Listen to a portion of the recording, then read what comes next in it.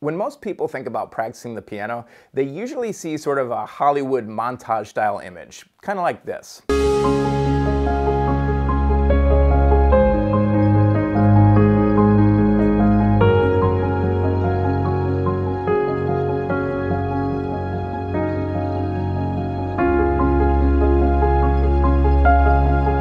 But the reality could not be further from the truth. By the time you hear that finished product, there have been many, many hours of slow, thoughtful practice, lots of repetition work.